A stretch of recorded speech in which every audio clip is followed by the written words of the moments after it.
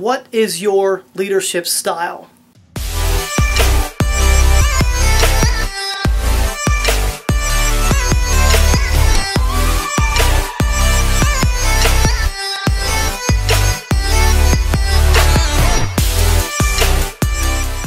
Hey guys, Dave Loshelder here, 3lgsolutions.com. Hey, listen, I wanted to post this video because I got an important question. And the question to you is, what leadership style do you subscribe to? Alright, so you might be saying, uh, I don't know.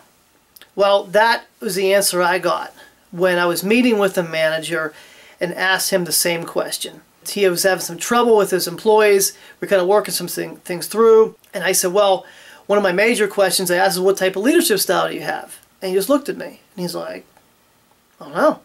What do you mean? And I'm like, well, what type of you know behavior do you show? Like, what what do you subscribe to? Like, what types of things do you? How do you motivate your people? How do you? What type of things do you do here in terms of your culture, change, and engagement strategies, and those type of things? So he was kind of perplexed by it. So I went through some things and I said, listen, I said, there's many different styles. And it doesn't mean you couldn't be one. You could be many.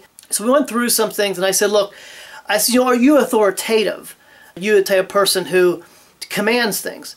Do you have a coaching style? Do you use situational leadership? Do you, uh, is it transformational? Is it transactional? Is it democratic? You know, all those things. So I just listed a few and he really didn't know. And so my question to you, and you can put it in the comments below, is what type of leadership style do you think you are?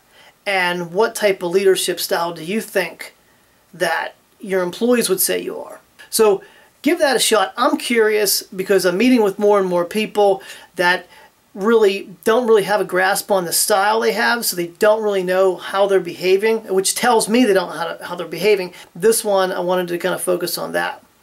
Check out the comments below, and uh, let's start a conversation. Okay, it's Dave Loshelder, 3lgsolutions.com, and talk to you guys real soon.